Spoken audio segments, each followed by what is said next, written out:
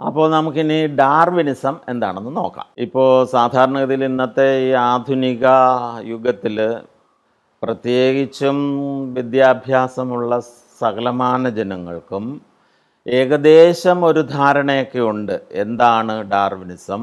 ഡാർവിനിസത്തിൽ അല്ലെങ്കിൽ ഡാർവിൻ പറഞ്ഞ പരിണാമ സിദ്ധാന്തത്തിന്റെ ഒരു ഏകദേശ പൊരുൾ അറിഞ്ഞിരിക്കാനുള്ള ഒരു സാധ്യത ഉണ്ട് എങ്കിലും ആ ആ ശാസ്ത്രീയമായ രീതിയിൽ തന്നെ ചാൾ ചാൾസ് ഡാർവിൻ പറഞ്ഞതും അദ്ദേഹം മുന്നോട്ട് വെച്ചതുമായ തിയറി എന്താണെന്ന് നോക്കാനാണ് ശ്രമിക്കുന്നത്. അപ്പോൾ ചാൾസ് ഡാർവിൻ ആദ്യം ഞാൻ ആദ്യം അദ്ദേഹത്തിന്റെ മുത്തച്ഛന്റെ കാര്യം പറഞ്ഞിരുന്നു. റാസ്മസ് ഡാർവിന്റെ പൗത്രനാണ് ചാൾസ് ഡാർവിൻ. വളരെ സമ്പന്നമായ പ്രഭു കുടുംബത്തിലാണ് അദ്ദേഹം ജനിച്ചതെന്ന് നമുക്കറിയാം. അത് ഫെബ്രുവരി പന്ത്രണ്ടിന് ആയിരത്തി എണ്ണൂറ്റി ഒമ്പതിൽ ഷ്രൂസ്ബറി ഇംഗ്ലണ്ടിലെ ഷ്രൂസ്ബറിയിലാണ് അദ്ദേഹം ജനിച്ചത്. മരിക്കുന്നത് ആയിരത്തി എണ്ണൂറ്റി എൺപത്തി രണ്ടിലാണ് അപ്പോൾ വളരെ ചെറുപ്പത്തിൽ തന്നെ അതായത് ആയിരത്തി എണ്ണൂറ്റി മുപ്പത്തി ഒന്നിൽ അദ്ദേഹത്തിന് വളരെ അത് അദ്ദേഹത്തിന്റെ ആ ഒരു ജന്മം കൊണ്ടുണ്ടായ ഒരു അവസരമാണ്.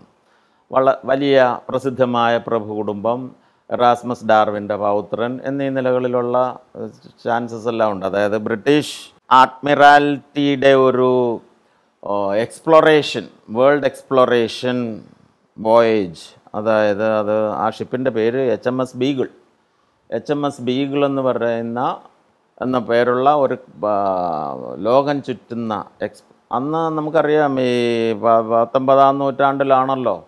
വലിയ വലിയ കണ്ടുപിടുത്തങ്ങളും ഭൂഖണ്ഡങ്ങളുടെ കണ്ടുപിടുത്തങ്ങളും സംസ്കാരങ്ങളുടെ കണ്ടുപിടുത്തങ്ങളും ഇങ്ങനെ പുതിയ പുതിയ പ്രദേശങ്ങൾ കണ്ടുപിടിക്കുന്നതുമല്ല ആ കാലഘട്ടത്തിലാണ്. അപ്പോൾ അതിന് വേണ്ടിയിട്ടുള്ള ഒരു എക്സ്പ്ലോറേഷൻ ആയിരുന്നു ഈ എച്ച് എം എസ് ബികൾ അപ്പോൾ അതിൽ അഞ്ച് വർഷക്കാലം ഈ എക്സ്പ്ലോറേഷനിൽ പങ്കെടുക്കാൻ ഡാർവിന് അവസരമുണ്ടായി. അപ്പോൾ ഈ അതെന്ന് പറയുന്നത് ആയിരത്തി എണ്ണൂറ്റി മുപ്പത്തൊന്ന് മുതൽ ആയിരത്തി എണ്ണൂറ്റി മുപ്പത്തി ആറ് വരെയാണ്. അപ്പോൾ ഈ കാലഘട്ടത്തിൽ അദ്ദേഹം കണ്ട കാര്യങ്ങൾ അദ്ദേഹം അറിയാമല്ലോ വളരെ ഷ്രൂഡായിട്ടുള്ള ഒരു സയന്റിഫിക് മൈൻഡുള്ള ഒരു യങ്സ്റ്റർ ആയിരുന്നു ചാൾസ് ഡാർവിൻ എന്നതിന് സംശയമൊന്നുമില്ല. കാരണം അദ്ദേഹം കണ്ടതെല്ലാം അദ്ദേഹം നോട്ട് ചെയ്തു കുറിച്ചു വെച്ചു. അത് ഇത് പിന്നീട് അദ്ദേഹം ആർജിച്ച വിജ്ഞാനവുമായി ചേർത്ത് അസിമുലേറ്റ് ചെയ്താണ് അദ്ദേഹം ഡാർവീനിയൻ തിയറി ഫോമുലേറ്റ് ചെയ്തത്. അപ്പോൾ ഈ അഞ്ച് വർഷക്കാലത്തെ എക്സ്പ്ലോറേഷനിലൂടെ അദ്ദേഹം സ്റ്റഡി ചെയ്തത് അദ്ദേഹം പഠിച്ചത് സസ്യങ്ങളെയും ജന്തുക്കളെയും കുറിച്ച് അദ്ദേഹം പഠിച്ചത് അറ്റ്ലാന്റിക് ഓഷനിലെ ഒരുപാട് ദ്വീപുകൾ. അതേപോലെ തന്നെ സൗത്ത് അമേരിക്കൻ തീരപ്രദേശങ്ങളിലെ വ്യത്യസ്തങ്ങളായ സസ്യജന്തുജാലങ്ങൾ സൗത്ത് പസഫിക് ഓഷനിലെ പ്രധാനപ്പെട്ട ദ്വീപുകളിലെ സസ്യജന്തു ജ വൈവിധ്യം. അതിൽ തന്നെ ഏറ്റവും പ്രധാനപ്പെട്ടത് ഗാലപ്പാഗോസ് ഐലൻഡ്സ് ആണ്. ഗാലപ്പാഗോസ് ഐലൻഡ്സ് എന്ന് പറയുമ്പോൾ ഇക്കഡോറിന്റെ പടിഞ്ഞാറ് ഏകദേശം അറ അറുന്നൂറ് മൈൽ പടിഞ്ഞാറായിട്ടുള്ള സ്പെസിഫിക് സമുദ്രത്തിലെ ഒരു ദ്വീപ സമൂഹമാണ് വളരെ പ്രധാനപ്പെട്ട അതായത് ഡാർവിനെ സംബന്ധിച്ചിടത്തോളം ഒരു ലിവിങ് ലബോറട്ടറി ഓഫ് എവല്യൂഷൻ. അദ്ദേഹത്തെ സംബന്ധിച്ചിടത്തോളം ലിവിങ് ലബോറട്ടറി ഓഫ് എവല്യൂഷനാണ് ഗാലപ്പാഗോസ് ഐലൻഡ്സ്. ഗാലപ്പാഗോസ് ഐലൻഡ്സിൽ ഒരുപാട് ഐലൻഡ്സ് ഉണ്ട്. ഈ ദ്വീപസമൂഹങ്ങളിലാണ് അദ്ദേഹം വളരെയധികം പഠനങ്ങൾ നടത്തിയത്. അവിടെ കണ്ട ഓരോ ദ്വീപിലും കണ്ട ജന്തു സസ്യ വൈവിധ്യം അദ്ദേഹത്തെ വല്ലാതെ സ്ട്രൈക്ക് ചെയ്തു. അതിന്റെ എല്ലാം നോട്ട് കുറിച്ചു പടം അദ്ദേഹം സ്കെച്ച് എടുത്തു. അപ്പോൾ അതിൽ ഈ San Salvador island Baltra island Santa Cruz San Cristobal Isabela Fernandina ഇങ്ങനെ പല പല ദ്വീപുകളാണ്. അപ്പോൾ ഈ ഓരോ ദ്വീപുകളിലും അദ്ദേഹം ഏറ്റവും പെക്യുലിയറായിട്ട് കണ്ടത് ഒരു തരം ഫിഞ്ചുകൾ ഫിഞ്ചസ് ഒരു ബേർഡാണ്. ആ ബേർഡിന് പിന്നീട് അറിയപ്പെട്ടത് ഡാർവിൻസ് ഫിഞ്ചസ് എന്നാണ്. അപ്പോൾ ഈ ഫിഞ്ചുകളുടെ എല്ലാം മദർ സ്പീഷീസ് ഇക്വഡോറിലുള്ളതാണ്. അപ്പോൾ ഇക്വഡോറിലുള്ള ഫിഞ്ചിനെ അതിന് ശേഷമാണ് ഡാർവിൻ പോയി പഠിച്ചത്. അപ്പോൾ ഈ ഓരോ ദ്വീപുകളിലുള്ള ഫിഞ്ചുകൾ യഥാർത്ഥത്തിൽ ഈ ഇക്വഡോറിയൻ ഫിഞ്ചിൽ നിന്ന് ഇവോൾവ് ചെയ്തതാണെന്നുള്ളതിനുള്ള തെളിവുകളാണ് അദ്ദേഹം ഈ ഫിഞ്ചുകളെ പഠിച്ചതിൽ നിന്ന് അദ്ദേഹത്തിന് ലഭിച്ചത്. അപ്പോൾ അതായത് ഓരോ ദ്വീപിന്റെയും കാലാവസ്ഥയ്ക്കും ടോപ്പോഗ്രഫിക്കും അനുസരിച്ച് അവിടെയുള്ള ഫിഞ്ചുകളുടെ ആഹാര രീതികളും വ്യത്യസ്തമാണ്. പൂവിൽ നിന്ന് തേൻ കുടിക്കാൻ ആവശ്യമായ ചുണ്ട് നട്ട്സ് പൊട്ടിക്കാനുള്ള ഹാർഡ് ചുണ്ട്. അപ്പോൾ ഈ ചുണ്ടുകൾ തന്നെ അതായത് ചുണ്ടുകൾ തന്നെ ബീക്ക് ബേർഡിന്റെ ബീക്ക് അപ്പോൾ ഈ ഓരോ ഐലൻഡിലും ഇത് വ്യത്യസ്തമായിരുന്നു ഈ ഫിഞ്ച് പക്ഷേ അവരുടെ എല്ലാം ബേസിക് സ്വഭാവം ഒന്ന് തന്നെ. അവയുടെ ബോഡി പ്ലാൻ എല്ലാം സെയിം തന്നെ. പക്ഷേ ഓരോന്നും വ്യത്യസ്തമാണ്. ജിയോസ്പൈസ സ്പീഷീസിൽപ്പെട്ട ഫിഞ്ചുകൾ അല്ല ജിയോസ്പൈസ ജീനസിൽ തന്നെ പല പല സ്പീഷീസുകൾ അപ്പോൾ അദ്ദേഹം ആ ഓരോ സ്പീഷീസിനെയും അദ്ദേഹം മനസ്സിലാക്കിയത് പ്രധാനമായിട്ടും ഈ ചുണ്ടിന്റെ പ്രത്യേകത കൊണ്ടാണ്. ചുണ്ട് അതിന്റെ ആഹാര രീതിക്കനുസരിച്ചാണ് അത് ഇവോൾവ് ചെയ്തിരിക്കുന്നതെന്ന് പെട്ടെന്ന് തന്നെ അദ്ദേഹത്തിന് മനസ്സിലാക്കാൻ സാധിച്ചു. അത് വളരെ വലിയ പിന്നീട് ഉള്ള ഒരു വലിയ പഠനത്തിന്റെ അഡാപ്റ്റീവ് റേഡിയേഷൻ എന്ന ഒരു പ്രതിഭാസം അത് പിന്നീട് നമ്മൾ പരിണാമത്തിലൊക്കെ അത് ഡിസ്ക്രൈബ് ചെയ്യുന്നുണ്ട്. ഓരോ ഒരു മദർ സ്പീഷീസ് എങ്ങനെ പല വിഭാഗങ്ങളിലേക്ക് റേഡിയേറ്റ് ചെയ്ത് പോകുന്നു എന്നുള്ള അതിന്റെ ഒരു ആദ്യത്തെ ഡാർവിൻ പറഞ്ഞ എക്സാമ്പിളാണ് ഈ ഡാർവിൻസ് ഫിഞ്ചസ് അതേപോലെ തന്നെ ആമകൾ ഗാലപ്പാഗോസ് എന്ന് പറഞ്ഞാൽ തന്നെ ജയന്റ് ടോട്ടോയ്സ് കടലാമകളാണെന്നുള്ള കാര്യം എല്ലാവർക്കും അറിയാം. അപ്പോൾ ഇതും ഓരോ ദ്വീപിലും വ്യത്യസ്ത തരത്തിൽപ്പെട്ട ആമകളാണ്. അതിന്റെ കാരാപ്പീസ് കാരാപ്പീസ് എന്ന് പറയുന്നത് എന്റെ പുറന്തോടാണ് ഈ പുറന്തോടിന്റെ സ്ട്രക്ചറിൽ തന്നെ ഓരോ ദ്വീപിലേതിനും ഓരോ വ്യത്യാസമുണ്ട്. പിന്നെ കഴുത്തിന്റെ നീളം. കഴുത്തിന്റെ നീളം ചില കഴുത്തിന് നീളം കൂടിയ ആമകളുമുണ്ട് കഴുത്തിന് നീളം കുറഞ്ഞ ആമകളുമുണ്ട് സാധാരണ കഴുത്തിന്റെ നീളമുള്ള ആമകളുമുണ്ട് അപ്പോൾ ഇത് പിന്നെ കഴുത്തിന്റെ നീളം കാരണം ഈ ആമകളെല്ലാം തന്നെ ഗാലപ്പാഗോസ് ദ്വീപിലുള്ള ആമകളെല്ലാം തന്നെ സസ്യഭുക്കുകളാണ് ചെടികളെ ആഹരിച്ച് നടക്കുന്നവരാണ്. അപ്പോൾ ഏതെങ്കിലും ഒരു ദ്വീപിൽ വെള്ളം കയറി ഈ ഗ്രൗണ്ട് വെജിറ്റേഷൻ പോയി കഴിഞ്ഞാൽ പിന്നെ അവിടുന്ന് അവർക്ക് ഇത് കഴുത്ത് നീട്ടി ഇച്ചിരൂടെ പൊങ്ങിയ സസ്യങ്ങളിൽ നിന്നൊക്കെ ഇത് ഇല പറിച്ച് തിന്നേണ്ടി വരും. അപ്പോൾ അതിനനുസൃതമായി കഴുത്ത് നീണ്ട സ്പീഷീസുകളും ഉണ്ടായി എന്നാണ്. കാരണം അത് അത് തന്നെയാണ് ഡാർവിൻ ഇവിടെ ഇത് കണ്ടതുകൊണ്ടാണ് ഡാർവിൻ പിന്നെ ഈ ലാമാർക്കിന്റെ ജിറാഫുകളുടെ കഴുത്ത് നീളത്തെക്കുറിച്ച് ഡാർവിൻ പിന്നീട് പറഞ്ഞത് ഇങ്ങനെയാണ്. അതായത് ജിറാഫുകൾ കഴുത്ത് നീളം കൂടിയവരും ഉണ്ടായിരുന്നു കഴുത്തിന് നീളം കുറഞ്ഞവരും ഉണ്ടായിരുന്നു. പ്രകൃതി നിർദ്ധാരണത്തിലൂടെ കഴുത്തിന് നീളം കുറഞ്ഞവരെ പ്രകൃതി നിർദ്ധരിച്ചു. അങ്ങനെ നീളം കൂടിയ ജിറാഫുകളാണെന്ന് കാണുന്നത്. മറ്റെല്ലാം നശിച്ചു പോയി എന്നാണ് ഡാർവിൻ പറഞ്ഞത്. അതേ അതുപോലെ തന്നെയാണ് ഇവിടെയും ഗാലപ്പാഗോ ഐലൻഡ്സിലും അദ്ദേഹം അതേ രീതിയിലാണ് ഇതിനെ ഇവിടെ എക്സ്പ്ലെയിൻ ചെയ്ത് ആമകളുടെ കഴുത്തിന്റെ നീളത്തിന്റെ കാര്യത്തിലും. അപ്പോൾ ആ- രീതിയിലാണ് അവിടെ ഈ ഒരു വ്യത്യാസം കണ്ടത്. ഇത് ജീവികളിൽ മാത്രമല്ല സസ്യങ്ങളിലും ഗാലപ്പാഗോസിലെ വ്യത്യസ്ത ദ്വീപുകളിലെ സസ്യങ്ങളിലും ഇതേ സംഗതി അദ്ദേഹം കണ്ടു. ഉദാഹരണം തന്നെ സ്കലേസിയ പ്ലാന്റിൽ സ്കലേസിയ ജീനസിൽപ്പെട്ട ഒരു സസ്യം. അത് എല്ലാ വിഭാഗത്തിന്റെ മര മരം ആയിട്ടുള്ളതുണ്ട് ഷ്രബായിട്ടുള്ളതുണ്ട് ഹെർബായിട്ടുള്ളതുണ്ട് പക്ഷേ ഒരു ഒരു മദർ സ്പീഷീസിൽ നിന്നാണ് ഈ സ്കലേസിയയുടെ വിവിധ സ്പീഷീസുകൾ ഈ വിവിധ ഐലൻഡുകളിൽ ആ, രൂപപ്പെട്ടതെന്നുള്ളതിന് രൂപപ്പെട്ടതെന്ന് അദ്ദേഹത്തിന് വേഗം മനസ്സിലാക്കാൻ സാധിച്ചു. അദ്ദേഹം അതുകൊണ്ട് തന്നെ ഈ ഓരോ ഓരോന്നിന്റെയും ഓരോ സ്പീഷീസുകളുടെയും ഈ വ്യത്യസ്തത വിവിധ ഐലൻഡുകളിലുള്ള സ്പീഷീസുകളുടെ വ്യത്യസ്തത അദ്ദേഹം പിന്നെ സ്കെച്ച് ഉണ്ടാക്കുകയും നോട്ട്സ് കുറിക്കുകയും ചെയ്തു. അപ്പോൾ ഇത് ഒരു അഞ്ച് വർഷത്തെ പ്ര പിന്നെ പഠനമാണെന്ന് നമ്മൾ മനസ്സിലാക്കണം. അത്രയും നീണ്ട കാലമായി അദ്ദേഹം ഒബ്സർവ് ചെയ്യുകയായിരുന്നു. ഒബ്സർവ് ചെയ്തത് പിന്നെ റെക്കോർഡ് ചെയ്യുകയായിരുന്നു. അപ്പോൾ അതിനുശേഷമാണ് അദ്ദേഹം ഡാർവീനിയൻ തിയറി ഡാർവിനിസം എന്ന് നമ്മൾ ഇന്ന് വിളിക്കുന്ന തിയറി ഫോമുലേറ്റ് ചെയ്യുന്നു അപ്പോൾ ഈ തിയറി ഫോമുലേറ്റ് ചെയ്യുന്നതുമായിട്ട് ബന്ധപ്പെട്ട് കുറച്ച് കാര്യങ്ങളുണ്ട്.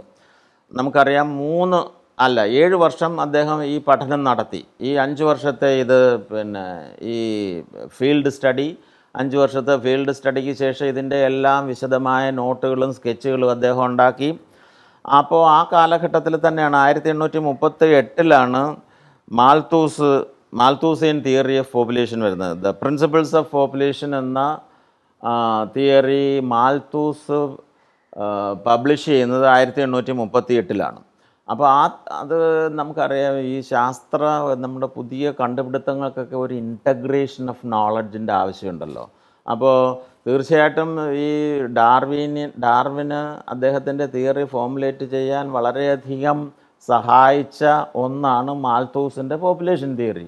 അപ്പോൾ മാൽത്തൂസ് മാൽത്തൂസിയൻ തിയറി അനുസരിച്ച് ഫുഡ് സപ്ലൈ ഇൻക്രീസ് ചെയ്യുന്നത് അരിത്മെറ്റിക് റേഷ്യോയിലാണെങ്കിൽ പോപ്പുലേഷൻ ഇൻക്രീസ് ചെയ്യുന്നത് ജിയോമെട്രിക് റേഷ്യോയിലാണ്.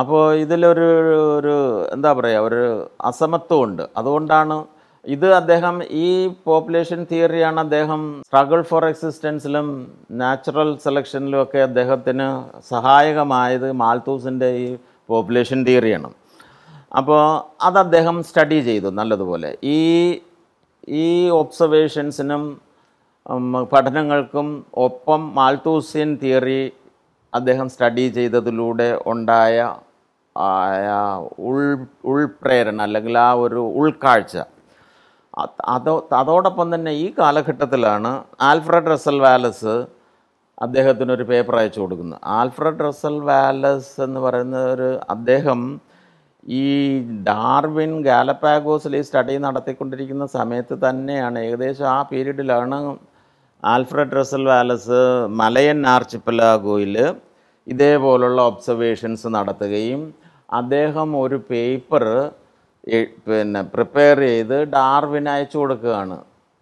ഇത് എങ്ങനെയുണ്ടെന്ന് അല്ലെങ്കിൽ അതിന്റെ ഒരു കറക്ഷന് വേണ്ടിയിട്ടൊക്കെ. ആ പേപ്പറിന്റെ പേര് ഇതാണ് on the tendency of varieties to depart from the original type അതായത് ഒരു മാതൃ സ്പീഷീസ് മറ്റ് പല ഉപവർഗങ്ങളായി പിരിഞ്ഞു പോകുന്നതിനുള്ള ഒരു ടെൻഡൻസി അതാണ് ആ പേപ്പറിന്റെ പേര്.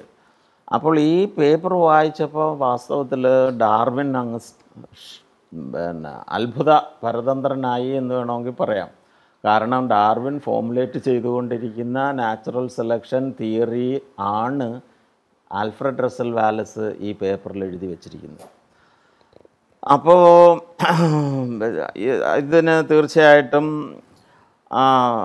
വാലസിന് ഈ origin of species by means of natural selection അല്ലെങ്കിൽ നാച്ചുറൽ സെലക്ഷൻ വഴിയുള്ള പ്രകൃതി നിർദ്ധാരണം വഴിയുള്ള സ്പീഷീസുകളുടെ ആവിർഭാവം എന്ന ആ കൺസെപ്റ്റ് ഉൾക്കൊള്ളുന്നതായിരുന്നു ഈ പേപ്പർ വാലസ് അയച്ചു കൊടുത്ത ഈ പേപ്പർ അപ്പോൾ അതുകൊണ്ട് തന്നെ അദ്ദേഹം ഇത് അദ്ദേഹത്തിന്റെ കൂട്ടിച്ചേരലുകളും കൂടെ ചേർത്ത് ഇവർ രണ്ടുപേരും കൂടെ രണ്ടുപേരുടെയും പേരിൽ journal of proceedings of Linnean society അതും ആയിരത്തി എണ്ണൂറ്റി അമ്പത്തൊമ്പതിലാണ് ആ ജേണലിൽ ഇവർ രണ്ടുപേരും കൂടെ ചേർന്ന് രണ്ട് പേപ്പറുകൾ പബ്ലിഷ് ചെയ്തു. അതിൽ ഒരു പേപ്പറിന്റെ പേര് on the tendency of species to form varieties അതായത് ഒരു സ്പീഷീസിന് തന്നെ പല ഉപസ്പീഷീസുകളും വർഗങ്ങളുമായി വേർപിരിയാനുള്ള ടെൻഡൻസി അല്ലെങ്കിൽ ആ ഒരു ത്വര. അതാണ് ഒരു പേപ്പർ രണ്ടാമത്തെ paper on the perpetuation of varieties and species by natural selection അതായത് പ്രകൃതി നിർദ്ധാരണം വഴി വ്യത്യസ്ത വർഗങ്ങളും സ്പീഷീസുകളും ഫോം ചെയ്യാനുള്ള ടെൻഡൻസി അല്ലെങ്കിൽ ആ ഒരു ഒരു ഒരു ത്വര. അപ്പോൾ ഇങ്ങനെ രണ്ട് പേപ്പറുകൾ ഇവരുടെ രണ്ട് പേരുടെയും പേരിൽ പബ്ലിഷ് ചെയ്തു.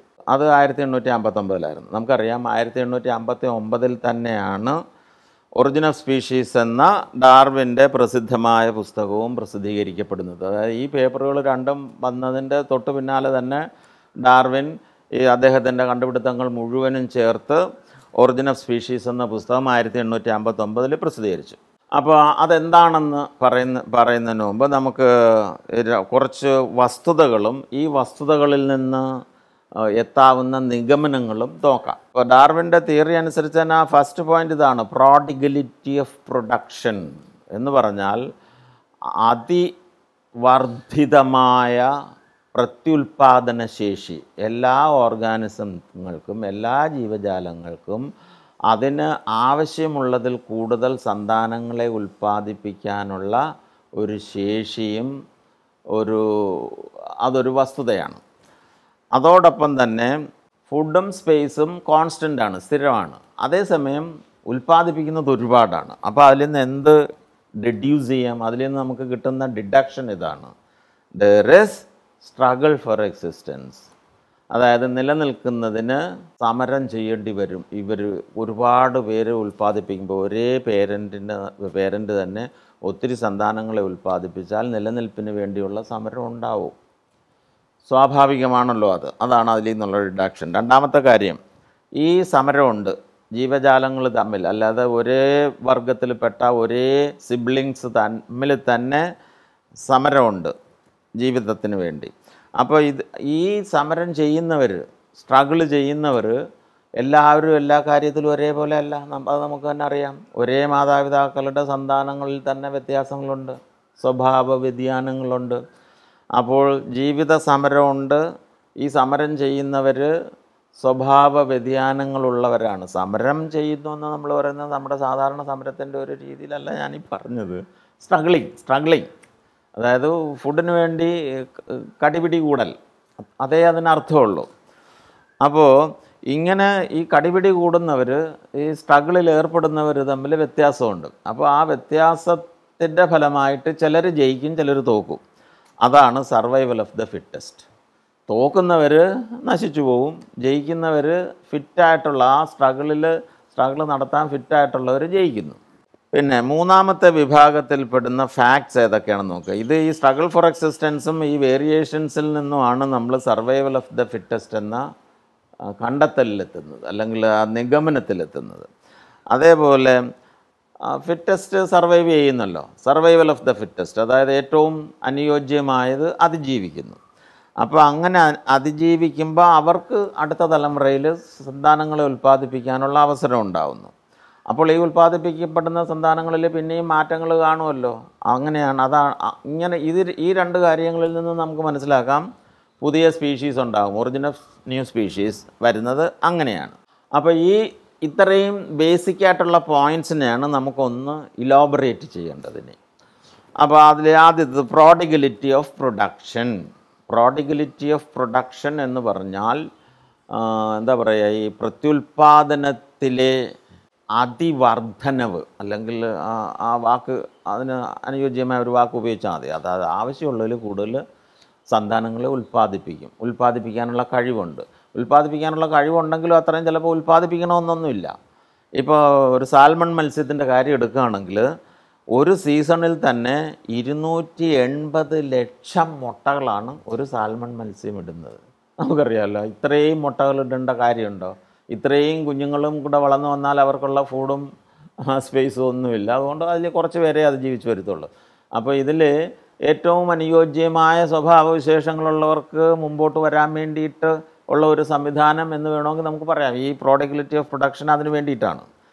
ഓയിസ്റ്ററിന്റെ കാര്യം എടുത്താലോ? അത് ഈ പിന്നെ മുളസ്ക ഷെല്ലുള്ള ഓയിസ്റ്ററിന്റെ മലയാളത്തിൽ കക്ക ചിപ്പി ചിപ്പി ചിപ്പി. അപ്പോൾ ചിപ്പി പിന്നെ അറുന്നൂറ് മുതൽ എണ്ണൂറ് ലക്ഷം മുട്ടകൾ വരെ ഒരു വർഷം ഇടും. അപ്പോൾ അത് ഇപ്പോൾ നമ്മുടെ റാബിറ്റിന്റെ കാര്യം തന്നെ എടുക്കുക. നമ്മുടെ മുയൽ ഒരു മുയൽ ഒരു പ്രസവത്തിൽ ആറ് കുഞ്ഞുങ്ങൾ കാണും. ഒരു വർഷം നാല് പ്രാവശ്യം പ്രസവിക്കും. ഓരോ കുഞ്ഞും ആറ് മാസം പ്രായമാകുമ്പോൾ പിന്നെയും പ്രസവിക്കാൻ തുടങ്ങും. അത് തന്നെ എല്ലാം നടന്ന് എല്ലാം ജീവിക്കുകയാണെങ്കിൽ എന്ത് പിന്നെ മുയലുകൾ കൊണ്ട് നിറയത്തില്ലേ ഭൂമി?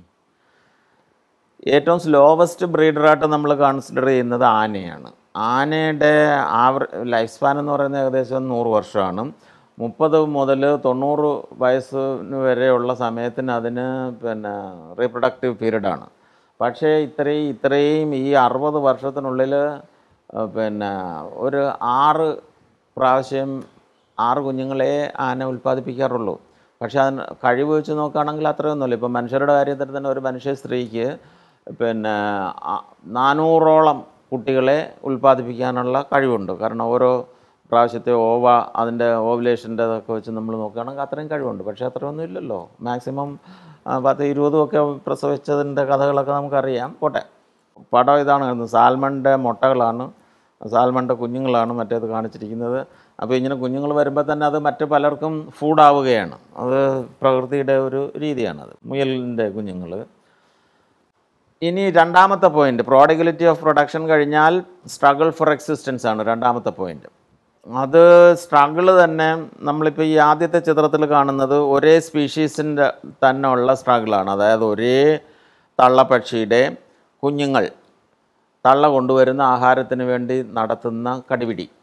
അപ്പോൾ അവിടെയും തള്ളയുടെ കയ്യിൽ നിന്ന് അല്ലെങ്കിൽ തള്ളപ്പക്ഷിയുടെ ചുണ്ടിൽ നിന്നുള്ള ആ ഫുഡ് എപ്പോഴും തള്ളയുടെ കയ്യിൽ നിന്ന് അത് വാങ്ങിക്കാൻ ഉള്ള ഇത്തിരി ശക്തി കൂടിയതും ഇത്തിരി വലിയതും ഏറ്റവും മുകളിലോട്ട് വാ തുറന്നു വയ്ക്കുന്നതും ഒക്കെ ആയിട്ടുള്ള കുഞ്ഞിനായിരിക്കും കൂടുതലും കിട്ടാനുള്ള സാധ്യത.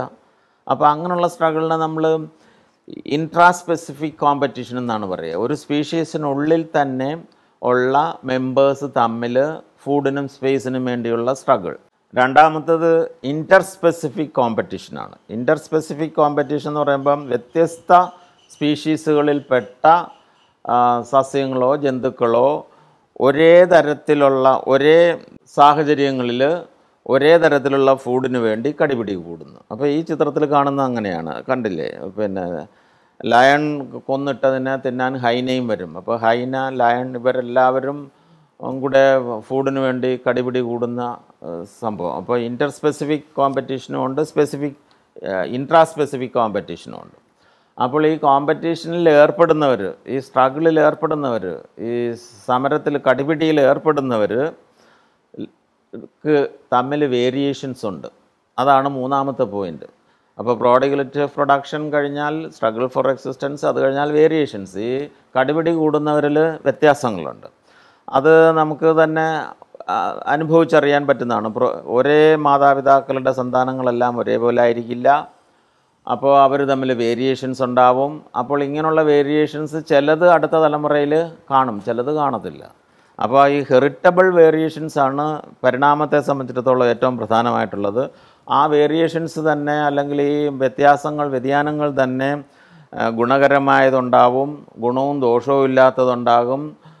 ദോഷമുള്ളതും ഉണ്ടാകും അപ്പോൾ ഗുണകരമായത് ദോഷകരമായത് ഗുണവും ദോഷവും ഇല്ലാത്ത ഇങ്ങനെ മൂന്ന് തരത്തിലുള്ള വേരിയേഷൻസും സ്വഭാവങ്ങളിൽ ഈ സന്താനങ്ങൾക്കുണ്ടാവും അതിൽ ഈ ഹെറിറ്റബിൾ വേരിയേഷൻസ് അല്ലെങ്കിൽ അടുത്ത തലമുറയിലേക്ക് പ്രേഷണം ചെയ്യപ്പെടുന്ന വേരിയേഷൻസ് ആണ് യഥാർത്ഥത്തിൽ പരിണാമത്തിന്റെ അസംസ്കൃത വസ്തുക്കൾ.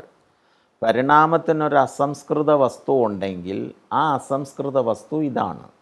ഓരോ ഒരു കൂട്ടം ജീവജ പിന്നെ പ്രോജനിയിൽ അല്ലെങ്കിൽ ഒരു കൂട്ടം മക്കളിൽ അടുത്ത തലമുറയിലേക്ക് പ്രേഷണം ചെയ്യപ്പെടുന്ന തരത്തിലുള്ള മാറ്റങ്ങൾ. അതെന്താണ്? അതിന്റെ ഒരു ഒന്ന് രണ്ട് ഉദാഹരണങ്ങളൊക്കെ വേണമെങ്കിൽ നമുക്ക് പിന്നീട് ഡിസ്കസ് ചെയ്യാം. ഈ പോയിന്റ്സ് ഒന്ന് തീർന്നിട്ട്. ആ ഹെറിറ്റബിൾ വേരിയേഷൻസ് ആണ് പിന്നെ പരിണാമത്തിന്റെ അസംസ്കൃത വസ്തുക്കൾ. ഈ ഹാംഫുൾ വേരിയേഷൻ ആദ്യം പറഞ്ഞല്ലോ ചിലത് ഉപകാരപ്രദമായത് ചിലത് ഉപകാരമില്ല ഉപകാര ഉപദ്രവകരമായത് ചിലത് ഉപകാര ഉപദ്രവവും ഇല്ല അങ്ങനത്തെ വേരിയേഷൻസും വരാം. ഉപദ്രവകരമായ വേരിയേഷങ്ങളുള്ളവർ പിന്നെ സമൂഹത്തിൽ നിന്ന് തുടച്ചു നീക്കപ്പെടും അവർ ചത്തുപോകും. അപ്പോൾ അതേസമയത്ത് യൂസ്ഫുൾ ആയിട്ടുള്ള ഉപകാരപ്രദമായ വേരിയേഷൻസ് കാണിക്കുന്നവരാണ് അത് അഡാപ്റ്റേഷൻസായി അടുത്ത തലമുറയിലേക്ക് പ്രേഷണം ചെയ്യപ്പെടുന്നത് അപ്പോൾ അത് മനുഷ്യരുടെ കാര്യം തന്നെ എടുത്ത് നോക്കിയാൽ തന്നെ ഈ മുഖത്തിന്റെ ചിത്രം നോക്കിയാൽ എന്തെല്ലാം വേരിയേഷൻസ് നമുക്ക് കാണാൻ പറ്റും. അതിൽ മിക്ക ഇതിൽ കാണിച്ചിരിക്കുന്ന മിക്ക വേരിയേഷൻസും ഹെറിറ്റബിളാണ് അതായത് അടുത്ത തലമുറയിലേക്ക് പോകുന്നതാണ്. പിന്നെ തൊലിയുടെ നിറം പിന്നെ മുടിയുടെ നിറം മുടിയുടെ ഷേപ്പ് ഇങ്ങനെയുള്ള കാര്യങ്ങളൊക്കെ തന്നെ. അതിൽ തന്നെ ഇപ്പം നമുക്കറിയാതെ ഏത് രീതിയിലാണ്. നമ്മൾ പറയുന്ന പോലെ സിമ്പിളായിട്ട് അങ്ങ് അതേപോലെ അല്ല. അതിന് ഒരുപാട് പാരമ്പര്യ നിയമങ്ങളൊക്കെ ഉണ്ട്. ആ നിയമങ്ങളങ്ങനുസരിച്ചാണ് മെന്റലിന്റെ നിയമം അനുസരിച്ച് പ്രേഷണം ചെയ്യപ്പെടുന്നതുകൊണ്ട് മെന്റലിന്റേതല്ലാതുള്ള വേറെ ഒരുപാട് നിയമങ്ങൾ അനുസരിച്ച് പ്രേഷണം ചെയ്യപ്പെടുന്ന സ്വഭാവവിശേഷങ്ങളുണ്ട്. അപ്പോൾ survival of the fittest or natural selection അതാണ് അടുത്ത പോയിന്റ് അത് വരുമ്പോൾ ലാമാർക്കിന്റേത് തന്നെ ഡാർവിൻ എങ്ങനെയാണ് വിശദീകരിച്ചതെന്ന് ഞാൻ ആദ്യം ഒന്ന് സൂചിപ്പിച്ചപ്പോൾ അത് തന്നെയാണ് പറയാനുള്ളത് ഇവിടെ. ഈ ഡാർവിൻ പറഞ്ഞതിനാണ് എവിഡൻസ് ഉള്ളത്. കാരണം ഒരേ കാലഘട്ടത്തിൽ തന്നെ നീളം കുറഞ്ഞ കഴുത്തുള്ള ജിറാഫുകളും നീളം കൂടിയ കഴുത്തുള്ള ജിറാഫുകളും ജീവിച്ചിരുന്നു എന്നുള്ളതിന് നമുക്ക് ഫോസിൽ എവിഡൻസ് ഉണ്ട്. അപ്പോൾ വേരിയേഷൻസ് എല്ലാ തരത്തിലും വരാം. പ്രയോജനമുള്ള വേരിയേഷൻസും വരും പ്രയോജനമില്ലാത്ത വേരിയേഷൻസും വരും ഉപദ്രവകരമായ വേരിയേഷൻസും ഒക്കെ വരും. അപ്പോൾ ചില വേരിയേഷൻസ് ഇതായിരുന്നു ഇച്ചിരി നീളം കൂടിയ കഴുത്തുള്ളത്. ആ, നീളം കൂടിയ കഴുത്തുള്ള വേരിയേഷൻസ് ഹെറിറ്റബിൾ ആയതുകൊണ്ട് അത് അടുത്ത തലമുറയിലേക്ക് പ്രവേശനം ചെയ്യപ്പെട്ട. അങ്ങനെ നീളം കൂടിയ കഴുത്തുള്ള ഇതുണ്ടായി. അപ്പോൾ ഇത് തന്നെ നമുക്ക് ഡാർവിൻ പറഞ്ഞതും ജിറ ലാമാർക്ക് പറഞ്ഞതും വെച്ച് ജിറാഫിന്റെ എവല്യൂഷൻ തന്നെ നോക്കിയാൽ യഥാർത്ഥത്തിൽ ഡാർവിനിസം എന്താണെന്ന് നമുക്ക് കുറച്ചുകൂടെ കൃത്യമായിട്ട് മനസ്സിലാവും. അപ്പോൾ ലാമാർക്ക് ഇങ്ങനെ പറഞ്ഞു അതായത് ഇങ്ങനെ കഴുത്ത് സ്ട്രെച്ച് ചെയ്തത് കൊണ്ട് ഇത്തിരി നീണ്ടു അത് അടുത്ത തലമുറയിലേക്ക് പോയി. അങ്ങനെ പറ്റത്തില്ല എന്ന് അങ്ങനെ പോകത്തില്ല എന്ന് വേസ്മെൻ നമുക്ക് കാണിച്ചു തന്നു. പിന്നെ എങ്ങനെയാണ്? പിന്നെ ഇത് ഡാർവിൻ പറഞ്ഞതുപോലെയാണ്. ഡാർവിൻ പറഞ്ഞത് ഈ എല്ലാ തരത്തിലും മാറ്റം ഉണ്ടാവാം. ചില ഒരു ഒരേ ഒരു സാധാരണ നീളമുള്ള കഴുത്തുള്ള അമ്മ ജിറാഫ് പ്രസവിച്ചിരിക്കുന്ന കുഞ്ഞുങ്ങളിൽ ചിലതിന്റെ കഴുത്തിന് ഇച്ചിരി നീളം കൂടാം. ചിലതിന്റെ കഴുത്തിന് ഇച്ചിരി നീളം കുറയാം ചിലതിന് അതേപോലുള്ള കഴുത്തും ആവാം. അപ്പോൾ ഈ സ്ട്രഗിൾ ഫോർ എക്സിസ്റ്റൻസിൽ തീർച്ചയായിട്ടും കൂടുതൽ സന്താനങ്ങളെ ഉൽപ്പാദിപ്പിക്കാൻ അവസരം കിട്ടുന്നത് ഇച്ചിരി നീളമുള്ള കഴുത്തൾ കൂടിയ കഴുത്തുള്ളതിനായിരിക്കുമല്ലോ. അപ്പോൾ അടുത്ത തലമുറയിൽ അവർക്കായിരിക്കും കൂടുതൽ സന്താനങ്ങൾ ഉൽപ്പാദിപ്പിക്കാനുള്ള അവസരം ഉണ്ടാകുക. ഇത് ഇങ്ങനെ റിപ്പീറ്റ് ചെയ്യും തലമുറ തലമുറയോളം. മറ്റ് മറ്റുള്ളവരും ജീവിക്കും പക്ഷേ അവരുടെ നമ്പർ കുറഞ്ഞു കുറഞ്ഞു വരും. അവരുടെ നമ്പർ കുറഞ്ഞ് തലമുറ കഴിയുന്തോറും കുറഞ്ഞു കുറഞ്ഞു വരും. ഈ നീളം കൂടിയവരുടെ തലമുറ കഴിയുന്തോറും നമ്പർ കൂടിക്കൂടി കൂടി വരും. ഇങ്ങനെ അവസാനം ഒരു ഇപ്പം നമ്മുടെ ഇപ്പോൾ ആധുനിക കാലഘട്ടത്തിൽ നോക്കുമ്പോൾ ഈ നീളം കൂടിയ കഴുത്തുള്ള ജിറാഫുകൾ മാത്രമേ ഉള്ളൂ. മറ്റുള്ളവരെല്ലാം കാലക്രമത്തിൽ നശിച്ചു പോയി. പക്ഷേ അവരുടെയൊക്കെ ഫോസിൽ നമുക്ക് കിട്ടുന്നുണ്ട്. അപ്പോൾ അതിൽ നിന്ന് ഈ രീതിയിലാണ് പരിണാമം നടന്നതെന്ന് നമുക്ക് മനസ്സിലാക്കാം. പക്ഷേ ഇപ്പോൾ നമുക്ക് വേറൊരു രീതിയിൽ നോക്കാം. ഇങ്ങനെ സ്വാഭാവികമായിട്ടുള്ള അല്ലാതെ പ- പരിതസ്ഥിതിയുടെ ഇൻഫ്ലുവൻസ് കൊണ്ടും ഇത് നടക്കാം. ഉദാഹരണത്തിന് ഇപ്പോൾ ഒരു കോൾഡ് നമുക്കറിയാം ഭൂമിയുടെ ചരിത്രം പരിശോധിച്ചാൽ വളരെ വലിയ ക്ലൈമാറ്റിക് ചേഞ്ചസ് ഭൂമിയിൽ ഉണ്ടാകാറുണ്ടല്ലോ glacial period inter glacial period glacial പീരീഡിലാണെങ്കിൽ ഭയങ്കര തണുപ്പാണ്. ഇന്റർ ഗ്ലേഷ്യൽ പീരീഡ് ആകുമ്പോൾ ചൂടുകാലമാണ്. അത് ആയിരക്കണക്കിന് വർഷങ്ങൾ നീണ്ടു നിൽക്കുന്ന ഇതാണ്. അപ്പോൾ ഈ ഇങ്ങനെയുള്ള ഗ്ലേഷ്യൽ ഇന്റർ ഗ്ലേഷ്യൽ പീരീഡുകളിൽ വലിയ പരിണാമങ്ങൾ നടക്കുന്ന കാലഘട്ടങ്ങളാണ്. കാരണം അന്തരീക്ഷത്തിലും ക്ലൈമറ്റിൽ ഒരുപാട് ചേഞ്ച് വരുന്നു പ്രകൃതിയിൽ ഒരുപാട് ചേഞ്ച് വരുന്നു. ഈ ചേഞ്ചിന് അഡാപ്റ്റഡ് ആയിട്ട് ജീവജാലങ്ങൾ വരികയാണ്. അങ്ങനെയുള്ള വേരിയേഷൻസ് വരുന്നവർ ജീവിക്കും. അതിനെ പ്രകൃതി നിർദ്ധാരണം വഴി അത് പോവും.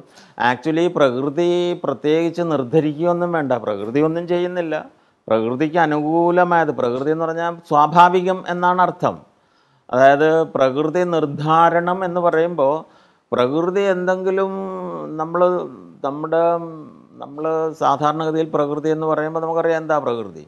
അപ്പോൾ പ്രകൃതി ഇങ്ങനെ ചിലരെ നിർദ്ധരിച്ചു കൊണ്ടുവരുന്നു ചിലരെ തള്ളിക്കളയുന്നു എന്ന് നമുക്ക് തോന്നാം. പക്ഷേ പ്രകൃതി അങ്ങനെയൊന്നും ചെയ്യുന്നില്ല.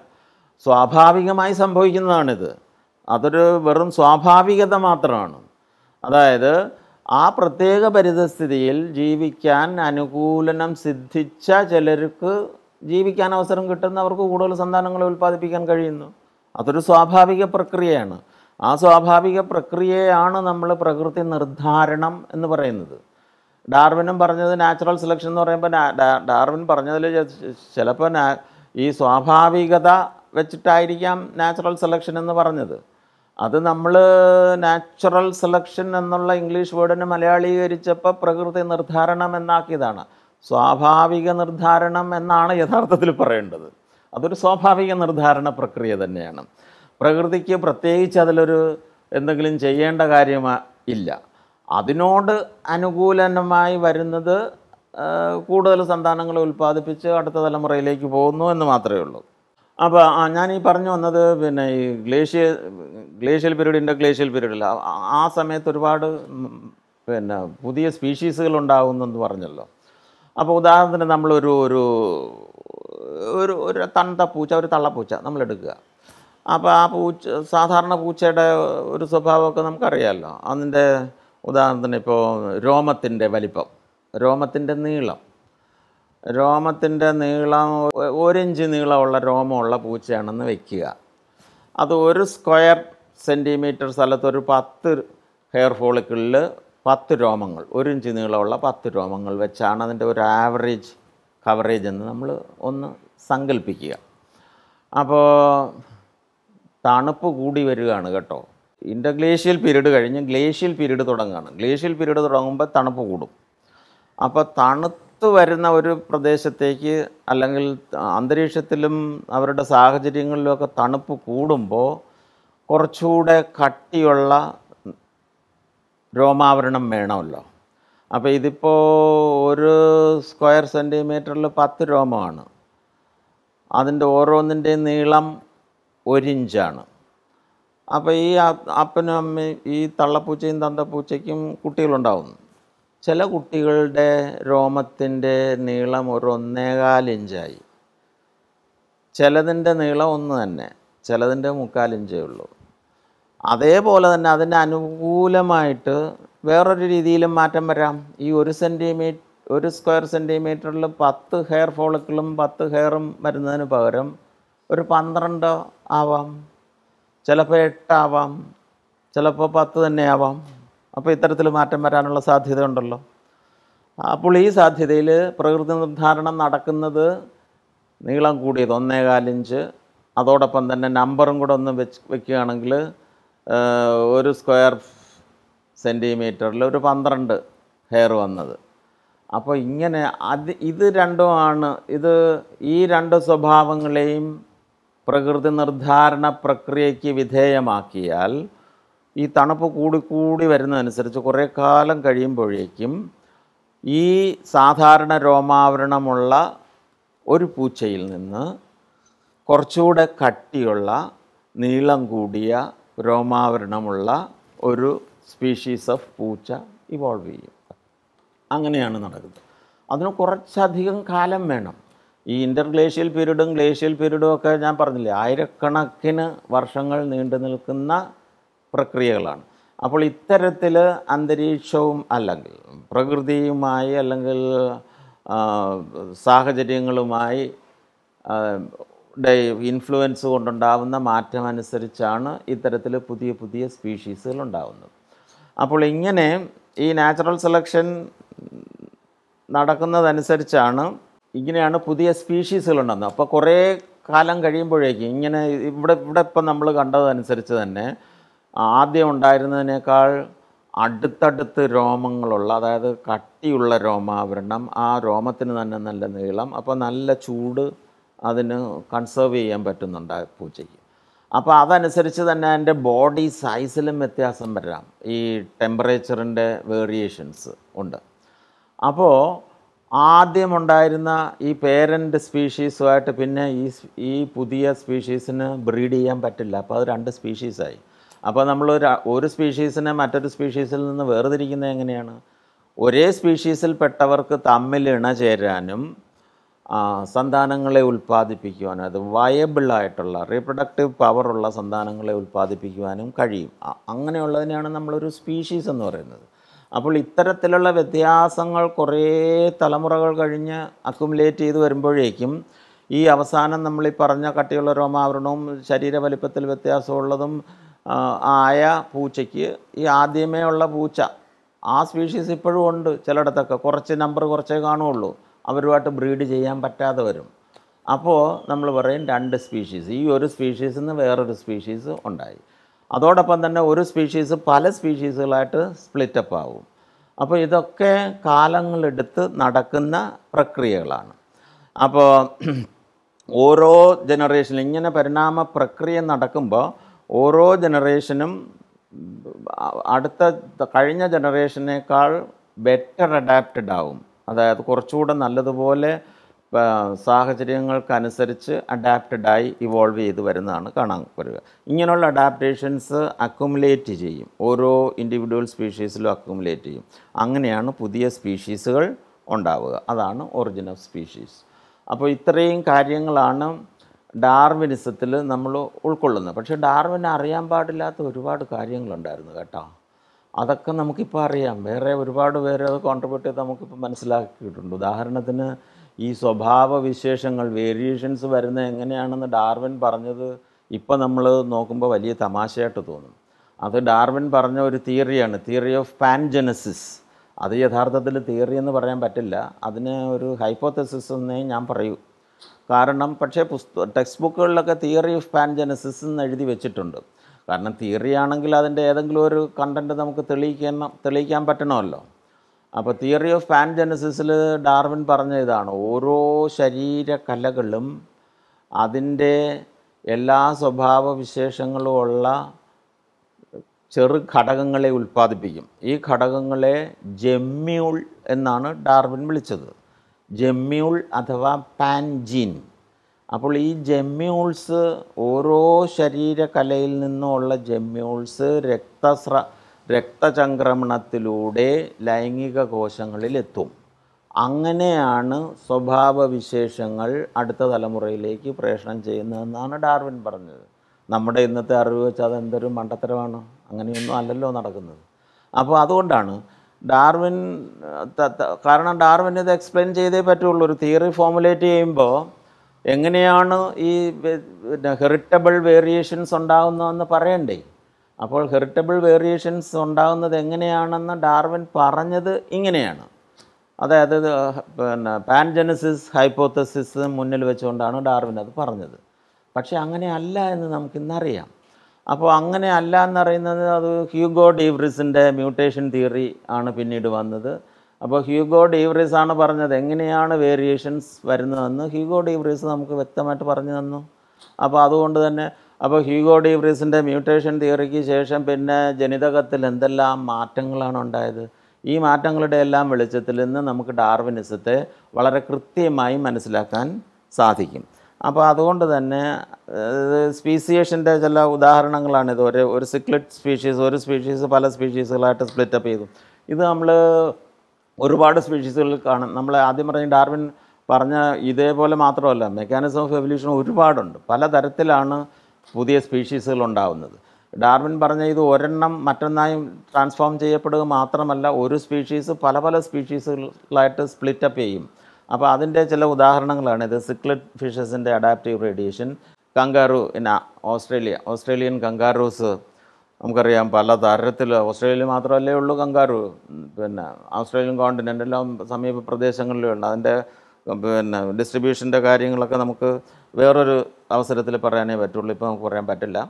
അപ്പോൾ അതും ഈ തരത്തിലുള്ള അഡാപ്റ്റീവ് റേഡിയേഷന് ഉദാഹരണമാണ്.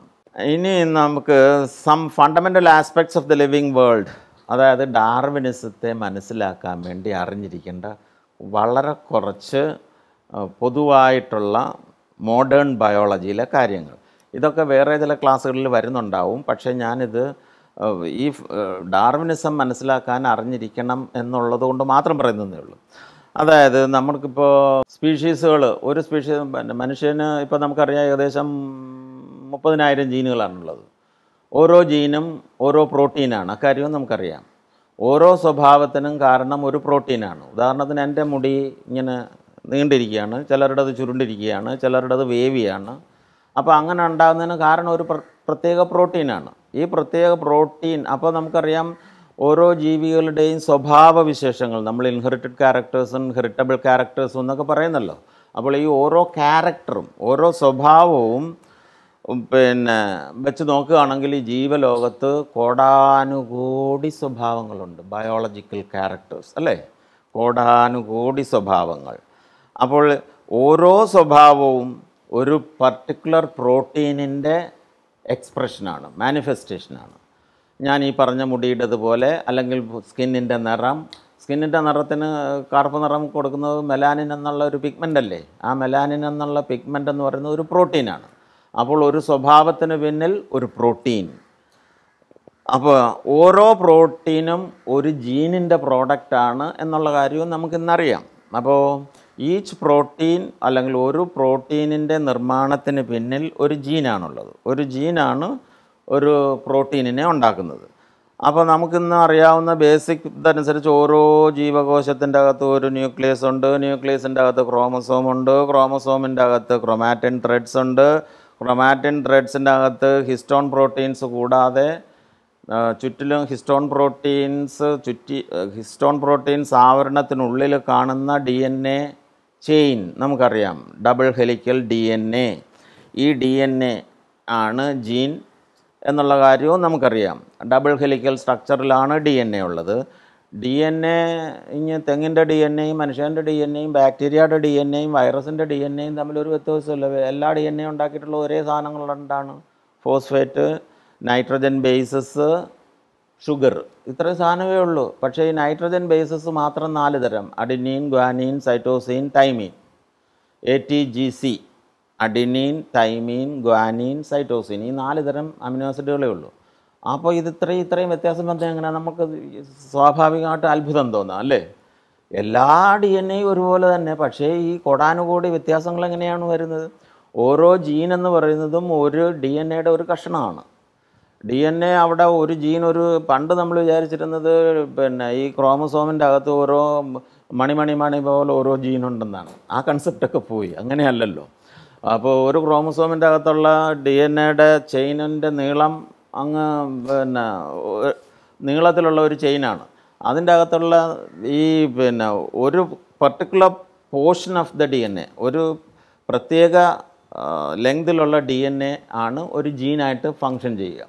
അപ്പോൾ അത് ആ ജീൻ അല്ലെങ്കിൽ ഒരു പ്രത്യേക പ്രോട്ടീൻ ഓരോ പ്രോട്ടീനും ഉണ്ടാക്കിയിട്ടുള്ളത് അനേകം അമിനോ ആസിഡുകൾ കൊണ്ടാണെന്ന് നമുക്കറിയാം. അമിനോ ആസിഡ് തന്മാത്രകൾ കൊണ്ട്. പക്ഷേ ആകെ ഭൂമിയിൽ ഇരുപത് തരം അമിനോ ആസിഡുകളേ ഉള്ളൂ. അപ്പോൾ ഈ ഇരുപത് തരം അമിനോ ആസിഡുകൾ ഉപയോഗിച്ചാണ് കോടാനുകോടി പ്രോട്ടീനുകൾ ഉണ്ടാക്കിയിരിക്കുന്നത്. അപ്പോൾ ഈ ഇരുപത് അമിനോ ആസിഡുകളെ പിടിച്ച് പ്രോട്ടീൻ ഉണ്ടാക്കാനുള്ള ജീനിന്റെ അകത്ത് ആകെ നാല് തരം ന്യൂക്ലിയോടൈഡുകളേ ഉള്ളൂ. Adenine guanine cytosine thymine. അപ്പോൾ നമുക്ക് ഇങ്ങനെ പറയാം. ഫോർ ലെറ്റർ കോഡ് ഈ പിന്നെ ന്യൂക്ലിയോടൈഡുകളുടെ നാല് തരം.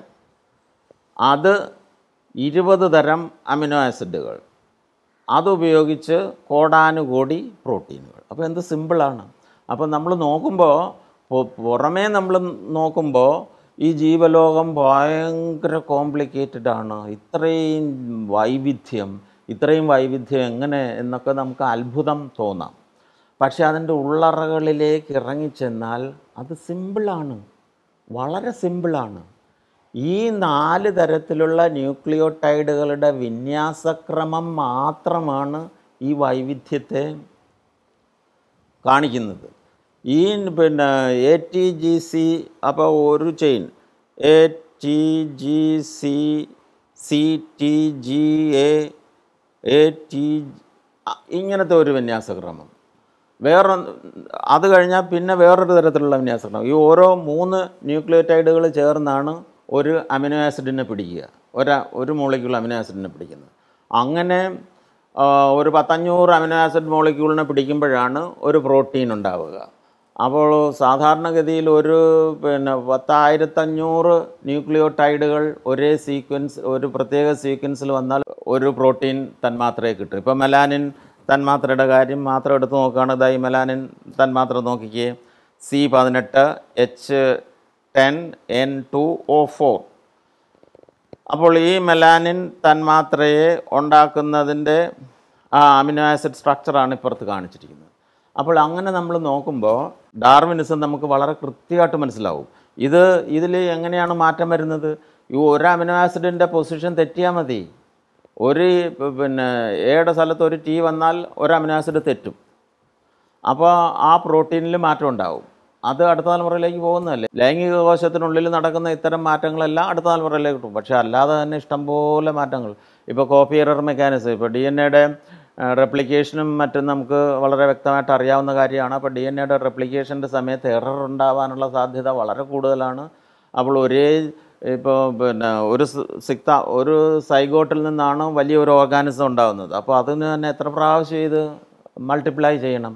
ഓരോ സെല്ലും രണ്ടായിട്ട് മൾട്ടിപ്ലൈ ചെയ്യുമ്പോഴൊക്കെ തന്നെ ഈ ജീനുകൾ മൊത്തം റെപ്ലിക്കേറ്റ് ചെയ്യണം. ഈ റെപ്ലിക്കേഷന്റെ സമയത്ത് എല്ലാം എറർ ഉണ്ടാവാനുള്ള സാധ്യതയുണ്ട്. ന്യൂക്ലിയോടൈഡുകളുടെ സീക്വൻസുകൾ തെറ്റാനുള്ള സാധ്യതയുണ്ട്. ഇങ്ങനെയുള്ള സീക്വൻസുകളുടെ തെറ്റലുകളാണ് സാധാരണ മ്യൂട്ടേഷനുകളും വേരിയേഷനുകളുമായിട്ട് അടുത്ത തലമുറയിൽ കാണുന്നത്. സെക്സ് സെല്ലിലുണ്ടത് സൊമാറ്റിക് സെല്ലിലത് വരില്ല. നമ്മൾ നോക്കിയാലറിയാം. നമ്മുടെ ചില ചെടികളിലൊക്കെ നോക്കിയാൽ ഒരേ ചെടിയിൽ തന്നെ പല ഷേപ്പിലുള്ള ഇലകളുള്ള ചെടികൾ നമ്മൾ കാണും. അപ്പോൾ അതിന്റെ കാരണം അതാണ്. അത് സൊമാറ്റിക് സെല്ലിൽ. അതായത് ലൈംഗിക കോശത്തിലല്ലാതെ സൊമാറ്റിക് സെല്ലിൽ ഉണ്ടാകുന്ന മാറ്റം ആ സെല്ലിൽ നിന്ന് വരുന്ന പിന്നെ സ്വഭാവത്തിന് ആ വ്യത്യാസം കാണും. അപ്പോൾ അങ്ങനെയാണ് സ്വഭാവ വ്യതിയാനങ്ങൾ. അതേസമയത്ത് പിന്നെ ഡീബ്രസ് പറഞ്ഞത് ഹ്യൂഗോ ഡീബ്രസ് പറഞ്ഞത് എക്സ്റ്റേണൽ ഇൻഫ്ലുവൻസ് കൊണ്ടും ഇത്തരത്തിലുള്ള മാറ്റങ്ങൾ ഉണ്ടാകാം ഉദാഹരണത്തിന് എക്സ്റേ എക്സ്റേ ഈ പിന്നെ ഡി എൻ എയിൽ മ്യൂട്ടേഷൻ ഉണ്ടാക്കും അതിന് മാറ്റം ഉണ്ടാക്കും അങ്ങനെയും മാറ്റം വരാം. അപ്പം മ്യൂട്ടേഷൻ ഇൻഡ്യൂസ്ഡ് ആവാം അതോടൊപ്പം തന്നെ പിന്നെ സ്വാഭാവികമായിട്ടുണ്ടാവാം. പക്ഷേ പരിണാമത്തിന്റെ റോ മെറ്റീരിയൽ എന്ന് പറയുന്ന വേരിയേഷൻസ് മുഴുവൻ സ്വാഭാവികമായ സാധാരണ മ്യൂട്ടേഷനുകളാണ് കോപ്പി എറർ മെക്കാനിസം കൊണ്ടും മറ്റും അതേപോലെ തന്നെ എൻവയോൺമെന്റിന്റെ ഇൻഫ്ലുവൻസ് കൊണ്ടും ഒക്കെ ഉണ്ടാവാവുന്ന മ്യൂട്ടേഷൻസാണ് ആണ് എവല്യൂഷന്റെ റോ മെറ്റീരിയലായ വേരിയേഷൻസിന് കാരണമാകുന്നു അപ്പോൾ അത്രയേ ഉള്ളൂ. അപ്പോൾ അവിടെ നമ്മൾ പിന്നെ ഇപ്പോൾ ആധുനിക മെന്റലിസത്തിന്റെയും പാരമ്പര്യ നിയമങ്ങളുടെയും ഒക്കെ വെളിച്ചത്തിലും ആധുനിക ബയോകെമിസ്ട്രിയുടെ അറിവിൽ നിന്നും ഒക്കെ നമുക്ക് ഡാർവിനിസത്തെ ഇന്ന് ഏറ്റവും വ്യക്തമായി മനസ്സിലാക്കാൻ പറ്റും. പക്ഷേ ഈ പറഞ്ഞതുപോലെ പരിണാമത്തിന്റെ രീതികളുടെ ബേസിക് മെക്കാനിസം ഡാർവിനിസം തന്നെയാണ്. അപ്പോൾ വളരെ നന്ദി.